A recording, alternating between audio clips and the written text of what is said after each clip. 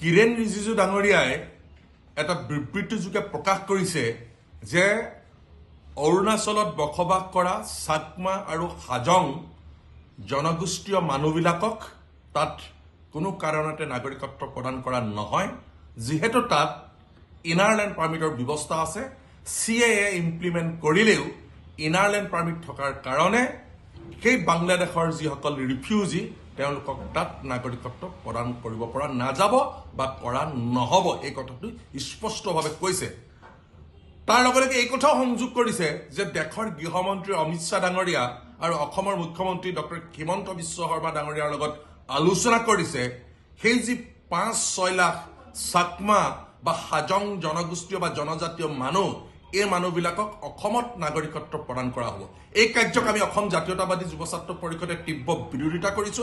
কোনো কাৰণতে তেওঁলোকৰ সেই বক্তব্য বা সেই ষড়যন্ত্ৰ আমি অসম জাতীয়তাবাদী যুৱ ছাত্ৰ পৰিষদে মানি নলওঁ। তাৰ পৰিৱৰ্তে আমি এই কথাটোহে কৈছো যে অসমতো ইনাৰলেণ্ড পাৰ্মিটৰ ব্যৱস্থা প্ৰৱৰ্তন কৰিব লাগে যিটো কথা আমি অসম জাতীয়তাবাদী যুৱ ছাত্ৰ পৰিষদে যোৱা পঞ্চল্লিছ বছৰে কৈ আছো।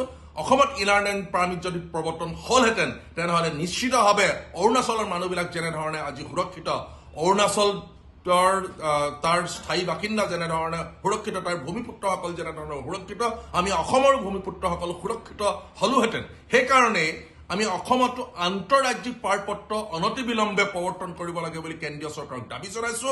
অন্যহাতেদি ঊনৈছশ এসত্তৰ চনৰ পঁচিছ মাৰ্চৰ পূৰ্বে অহা সি হিন্দুৱে হওক বা মুছলমানেই হওক চাকমাই হওক বা হাজঙে হওক বা অন্যান্য জনগোষ্ঠীয় বা জনজাতীয় মানুহেই নহওক বা যি ধৰ্ম ভাষা কোৱা মানুহেই নহওক কোনো কাৰণতে অসমত সংস্থাপিত আৰু ভাৰতবৰ্ষত নাগৰিকত্ব প্ৰদান কৰাটো আমি বিচৰা নাই।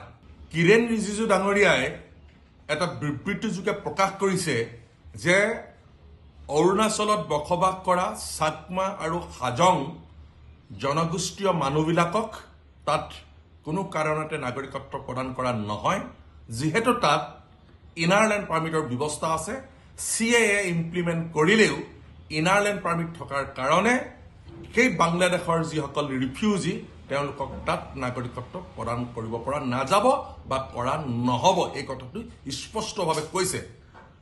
তাৰ লগে লগে এই কথাও সংযোগ কৰিছে যে দেশৰ গৃহমন্ত্ৰী অমিত শ্বাহ ডাঙৰীয়া আৰু অসমৰ মুখ্যমন্ত্ৰী ডক্টৰ হিমন্ত বিশ্ব শৰ্মা ডাঙৰীয়াৰ লগত আলোচনা কৰিছে। সেই যি পাঁচ ছয় লাখ চাকমা বা হাজং জনগোষ্ঠীয় বা জনজাতীয় মানুহ এই মানুহবিলাকক অসমত নাগৰিকত্ব প্ৰদান কৰা হ'ব। এই কাৰ্যক আমি অসম জাতীয়তাবাদী যুৱ ছাত্ৰ পৰিষদে তীব্ৰ বিৰোধিতা কৰিছো। কোনো কাৰণতে তেওঁলোকৰ সেই বক্তব্য বা সেই ষড়যন্ত্ৰ আমি অসম জাতীয়তাবাদী যুৱ ছাত্ৰ পৰিষদে মানি নলওঁ। তাৰ পৰিৱৰ্তে আমি এই কথাটোহে কৈছো যে অসমতো ইনাৰলেণ্ড পাৰ্মিটৰ ব্যৱস্থা প্ৰৱৰ্তন কৰিব লাগে যিটো কথা আমি অসম জাতীয়তাবাদী যুৱ ছাত্ৰ পৰিষদে যোৱা পঞ্চল্লিছ বছৰে কৈ আছো। অসমত ইনাৰলেণ্ড পাৰ্মিট যদি প্ৰৱৰ্তন হ'লহেঁতেন তেনেহ'লে নিশ্চিতভাৱে অৰুণাচলৰ মানুহবিলাক যেনেধৰণে আজি সুৰক্ষিত অৰুণাচল তাৰ স্থায়ী বাসিন্দা যেনেধৰণে সুৰক্ষিত তাৰ ভূমিপুত্ৰসকল যেনেধৰণে সুৰক্ষিত আমি অসমৰ ভূমিপুত্ৰসকল সুৰক্ষিত হলোহেঁতেন। সেইকাৰণে আমি অসমতো আন্তঃৰাজ্যিক পাৰপত্ৰ অনতিবিলম্বে প্ৰৱৰ্তন কৰিব লাগে বুলি কেন্দ্ৰীয় চৰকাৰক দাবী জনাইছো। অন্যহাতেদি ঊনৈছশ এসত্তৰ চনৰ পঁচিছ মাৰ্চৰ পূৰ্বে অহা সি হিন্দুৱে হওক বা মুছলমানেই হওক চাকমাই হওক বা হাজঙে হওক বা অন্যান্য জনগোষ্ঠীয় বা জনজাতীয় মানুহেই নহওক বা যি ধৰ্ম ভাষা কোৱা মানুহেই নহওক কোনো কাৰণতে অসমত সংস্থাপিত আৰু ভাৰতবৰ্ষত নাগৰিকত্ব প্ৰদান কৰাটো আমি বিচৰা নাই।